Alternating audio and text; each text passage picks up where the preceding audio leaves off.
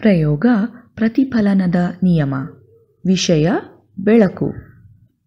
ಈ ಪ್ರಯೋಗದಲ್ಲಿ ಬೆಳಕಿನ ಪ್ರತಿಫಲನದ ನಿಯಮವನ್ನು ಅಧ್ಯಯನ ಮಾಡಲು ನಾವು ಜೋಡಣೆ ಒಂದನ್ನು ನಿರ್ಮಿಸುತ್ತೇವೆ.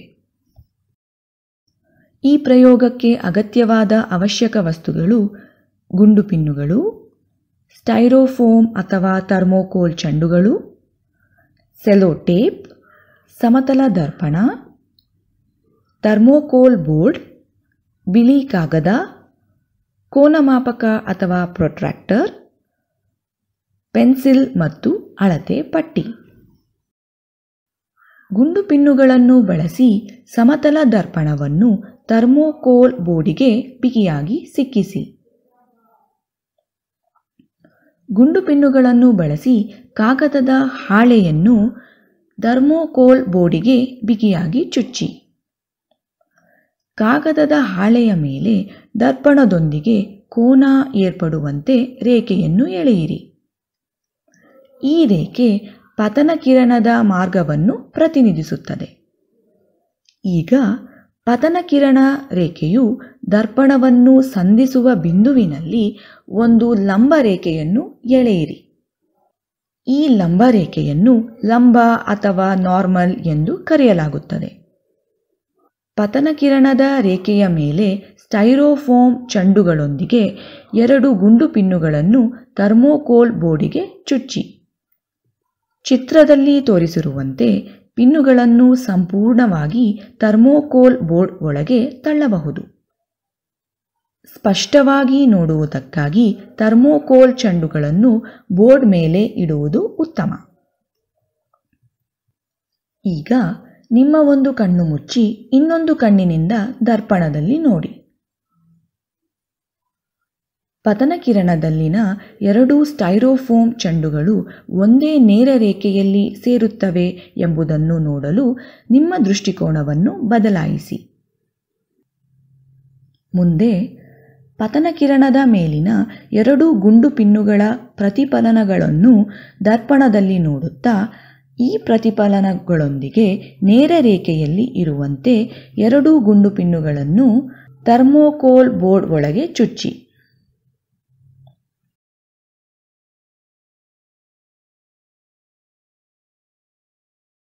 ಈಗ ಪಿನ್ಗಳನ್ನು ತೆಗೆದುಹಾಕಿ.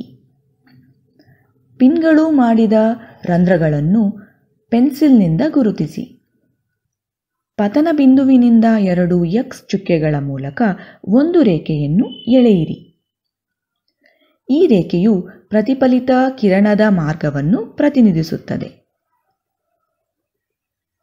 ಕೋನಮಾಪಕ ಬಳಸಿ ಲಂಬ ಅಥವಾ ನಾರ್ಮಲ್ ರೇಖೆಯ ಮತ್ತು ಪತನ ಕಿರಣದ ರೇಖೆಯ ನಡುವಿನ ಕೋನವನ್ನು ಅಳೆಯಿರಿ. ಇದು ಪತನ ಕೋನ. ಈಗ ಲಂಬ ಅಥವಾ ನಾರ್ಮಲ್ ರೇಖೆಯ ಮತ್ತು ಪ್ರತಿಫಲಿತ ಕಿರಣದ ರೇಖೆಯ ನಡುವಿನ ಕೋನವನ್ನು ಅಳೆಯಿರಿ. ಇದು ಪ್ರತಿಫಲನ ಕೋನ.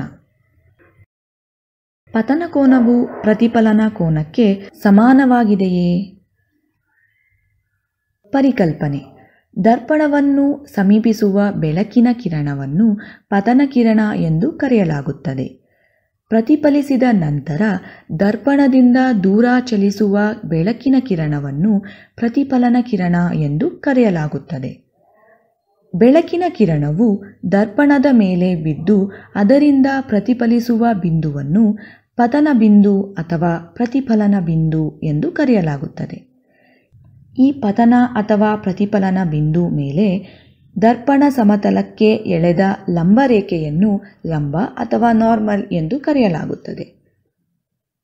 ದರ್ಪಣದಲ್ಲಿ ನೋಡಿದಾಗ ನೀವು ಗಮನಿಸಬಹುದು, ಒಂದೇ ಒಂದು ನಿರ್ದಿಷ್ಟ ದೃಷ್ಟಿಕೋನದಿಂದ ನೋಡಿದಾಗಲೇ ಪತನ ಕಿರಣದಲ್ಲಿನ ಎರಡೂ ಸ್ಟೈರೋಫೋಮ್ ಚೆಂಡುಗಳ ಪ್ರತಿಫಲನವು ಒಂದು ಸರಳ ರೇಖೆಯಲ್ಲಿ ಸಾಲು ಹಿಡಿದಂತೆ ಕಾಣಿಸುತ್ತವೆ. ಇದು ಏನು ತೋರಿಸುತ್ತದೆ ಅಂದರೆ ಒಂದು ಪತನ ಕಿರಣವು ಒಂದು ಪ್ರತಿಫಲಿತ ಹಾದಿಯಲ್ಲಿ ಮಾತ್ರ ಪ್ರತಿಫಲಿಸುತ್ತದೆ. ಈ ಹಾದಿಯೇ ಪ್ರತಿಫಲಿತ ಕಿರಣದ ಮಾರ್ಗ. ಪತನ ಕೋನ ಮತ್ತು ಪ್ರತಿಫಲನ ಕೋನಗಳನ್ನು ಹೋಲಿಸಿದಾಗ ಅವು ಸಮಾನವೆಂದು ನೀವು ನೋಡುತ್ತೀರಿ. ಇದು ಪ್ರತಿಫಲನದ ಒಂದು ನಿಯಮವಾಗಿದೆ. ಪತನ ಕೋನವು ಪ್ರತಿಫಲನ ಕೋನಕ್ಕೆ ಸಮನಾಗಿರುತ್ತದೆ. ಸೂಚನೆ. ಭ್ರಂಶದೋಷದಿಂದಾಗಿ ನಿಮ್ಮ ಪತನ ಕೋನ ಮತ್ತು ಪ್ರತಿಫಲಿತ ಕೋನದಲ್ಲಿ ಸ್ವಲ್ಪ ವ್ಯತ್ಯಾಸ ಕಂಡುಬರಬಹುದು. ಇದನ್ನು ಪ್ರಯತ್ನಿಸಿ. ಬೇರೆ ಬೇರೆ ಪತನ ಕೋನಗಳೊಂದಿಗೆ ಪತನ ಕಿರಣಗಳನ್ನು ಎಳೆದು ಪ್ರಯೋಗವನ್ನು ಪುನರಾವರ್ತಿಸಿ. ಪತನ ಮತ್ತು ಪ್ರತಿಫಲನ ಕೋನಗಳನ್ನು ಹೋಲಿಕೆ ಮಾಡಿ. ನಿಮ್ನ ಮತ್ತು ಪೀನ ದರ್ಪಣಗಳನ್ನು ಬಳಸಿ ಈ ಪ್ರಯೋಗವನ್ನು ಪುನರಾವರ್ತಿಸಿ. ಪತನ ಕೋನ ಪ್ರತಿಫಲನ ಕೋನಕ್ಕೆ ಸಮನಾಗಿದೆಯೇ ಎಂದು ಪರಿಶೀಲಿಸಿ.